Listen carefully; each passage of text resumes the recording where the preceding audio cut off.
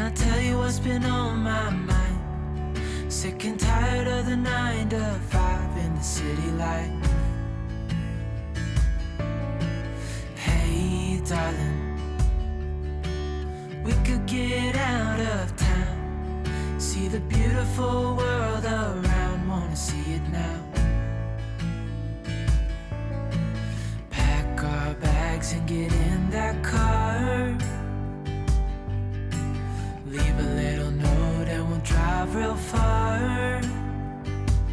Let's get out, we can leave this city. Let's drive to the open air. Yeah, the countryside is so pretty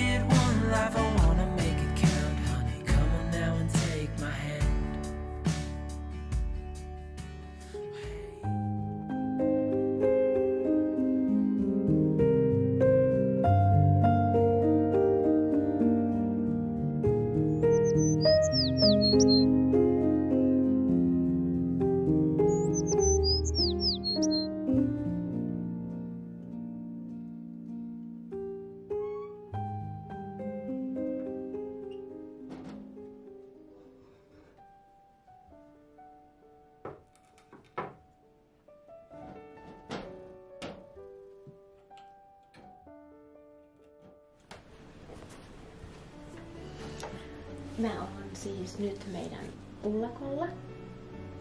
Kyllä, tää on se paikka, mistä mä kerroin, että mitä mä ennen pelkäsin tosi kovin jossain videolla, kun vanha, jos on nähnyt jotain vanhoja videoita, niin saattaa muistaakin, kun mun piti käydä hakemassa Venlalle täältä sänky, niin mua jännitti ihan hirveästi. Mä pidin tätä jotenkin pelottomana paikkana.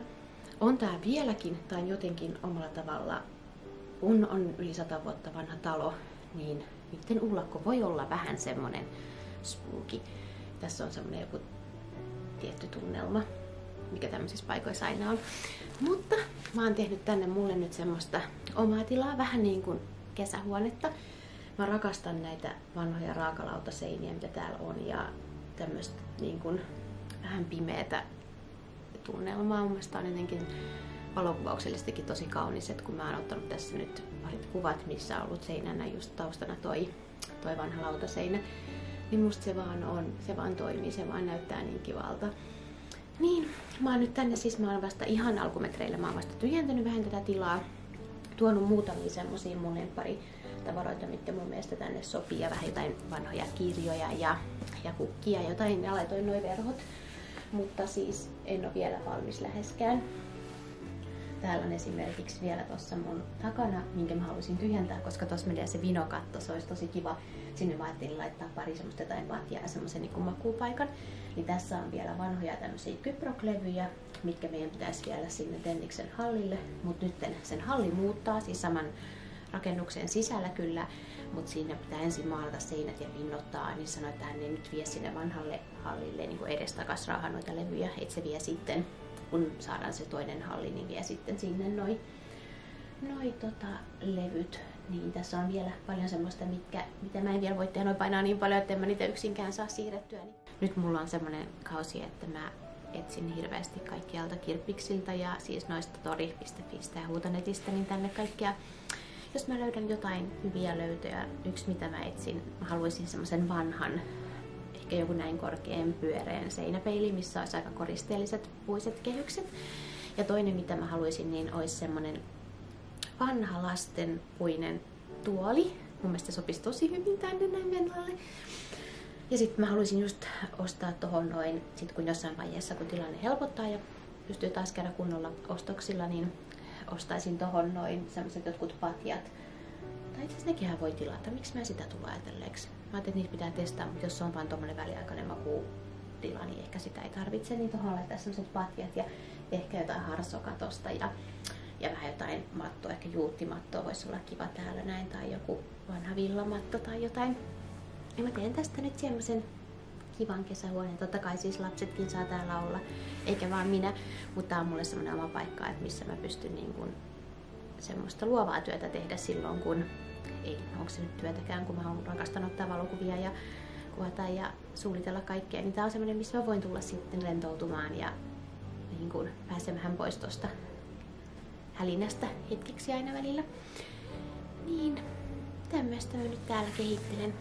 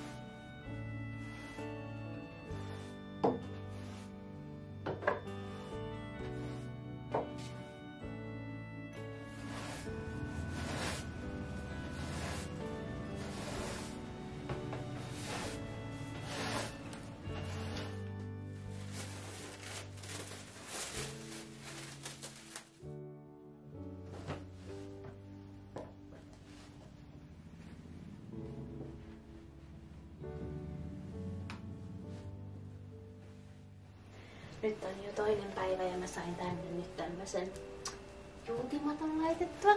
Ja sitten mä kävin tuossa meidän läheisellä kilpparilla, ostin sieltä tämmöset, tämmöset vanhat hiusharja ja peili. Peili oli harmikseen särkynyt, mutta mä otin sen silti, koska musta se oli niin kaunis.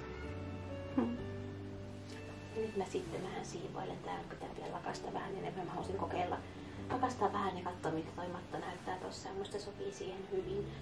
Mä luulen, että mä siirrän sen sitten tohon nurkkaan, missä oli noi levyt, kun siihen tulee patjani siihen eteen. Ja mä ostin semmoset öö, verhotangot ja verhot tänne, en tähän ikkunan eteen, vaan tähän, kun tässä on, me ollaan nyt niinku talon päädyssä ullakolla. Me ollaan ihan täällä päädyssä tämä alkupää on meillä toimii vähän niin kuin varastotilalla. Siellä meillä on joulukoristeet ja joulukuusta ja kaikkea, niin mä aion niin kuin katkaista tämän tilan silleen, että mä laitan siihen verhot siihen väliin, niin sitten se luo tästä vähän niin kuin semmoisen oman tilansa. Niin mä teen vähän niin kuin semmoisen verhoseinän tohon noin, niin kävin hakemaan siihen verhotannut ja verhoja ja ajattelin ripustaa ne siihen tänään.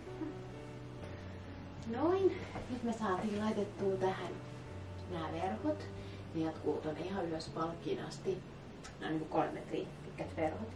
Mutta sitä ei saa tietenkään tuonne katon rajaa, koska katto on tämmönen vinomallinen, mutta tuohon keskipalkkiin me laitettiin ne. Ja tehtiin nyt blokkaa siis tota kaikkea, mikä tuolla takana on, missä on niin varastotilaa. Niin mä luulen, että mä joudun nostaa tähän vielä ehkä yhden verhon ainakin lisää, ellei sitten enemmänkin.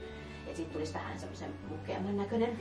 Sitten mulla on tossa on sitä mä että mä voisin kans laittaa jossain vaiheessa verhon. Mutta en nyt vielä laittanut, kun mä ajattelin, että kun siinä on levyt pitää siivota ja sitä tavaraa pitää ruodata siitä pois, niin sit kun se on tehty, niin sit mä viimeistelen ehkä sen. Mutta täällä alkoi vähän vilpoinen, mun piti laittaa villatakki päälle. Tänään ei ollut niin lämmin päivää, nyt alkaa tulla jo vilta. Kello joku kuusi, niin huomaa, että täällä viilenee heti. Niin ajattelin, että mä nyt siivon tässä vielä vähän, mä lakasen ja alan laittaa vähän niin kuin jotain tavaroita paikoilleen. Mutta mä luulen, että mä lopetan tämän videon tähän. Mä menen nyt kohta siitä alas laittaa teille tämän videon. Ja toivottavasti seuraavassa videossa täällä olisi jo vähän valmiimpaa. Mä olen nyt metsästelee niitä kaikkia, mitä muuta puuttuu. Niin, jos niitä löytyisi jostain toista tai jostain. Mutta kiitos kun sä katsoit videon ja nähdään taas seuraavassa videossa. Moikka!